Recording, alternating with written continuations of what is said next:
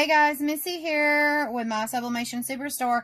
I'm going to show you today really, really fast how fast and simple and easy it is to put our beads on some of our ornaments, okay? The things you need is a piece of tape. You need your ornament, two beads, a piece of jute string, and then scissors, okay? I'm going to set my tape to the side for a moment.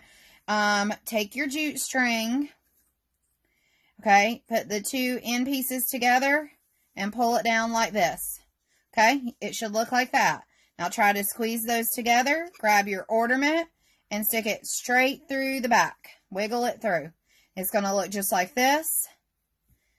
All right, now you got it just like this. Take your towel, pull it through, and now you have it looped.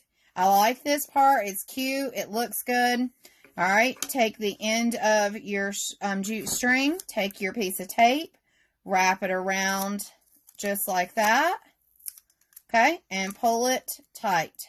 All right, now what you do here is just cut your tape off, just like that.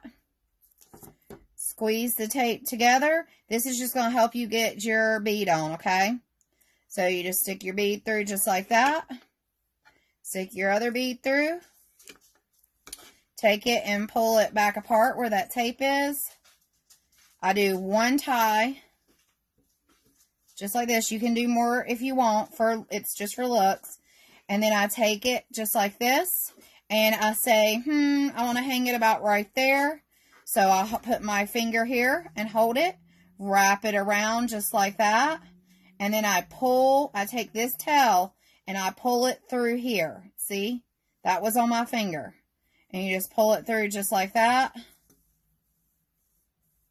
and you are done. You just need to take this and cut your towel off.